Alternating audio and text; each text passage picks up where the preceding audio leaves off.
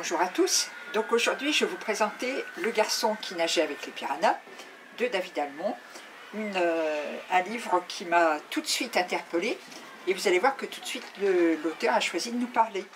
Alors je le laisse parler. Écoutez. Une petite question pour commencer.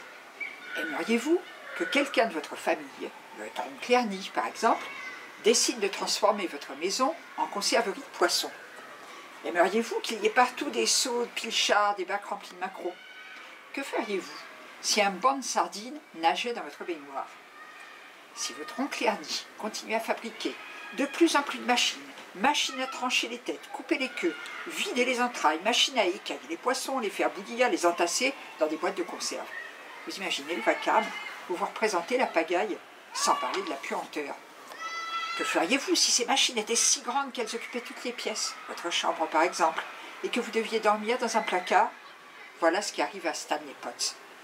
Il s'y accommode, vaille que vaille, ça n'est pas agréable. Jusqu'au jour, bah, au jour de son anniversaire.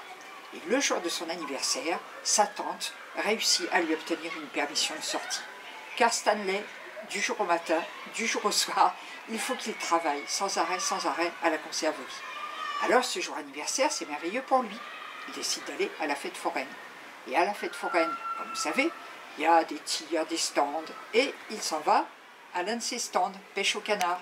Et que gagne-t-il? Je vous donne un mille, des poissons, des petits poissons rouges, qui rapportent chez lui et qui vont devenir ses meilleurs confidents. Et l'histoire commence au moment où, par une nuit sombre, à pas feutré, Stanley s'avance et découvre, horrifié, que quelqu'un marche dans l'appartement. Et le lendemain, il découvre avec non moins d'horreur qu'il y a une nouvelle boîte de conserve. Je suis sûr que vous avez déjà deviné ce qu'il y avait dans la boîte de conserve. C'est le poisson rouge qui était devenu ses meilleurs copains. C'est trop, Stanley décide de partir. Et il s'embauche dans le cirque et la fête de la fête foraine où il avait précisément gagné les poissons rouges. Et c'est là qu'il va faire une rencontre qui est déterminante dans le roman, c'est-à-dire qu'il va être initié un grand magicien en quelque sorte, qui est capable de plonger dans un bassin rempli de piranhas et de ressortir intact.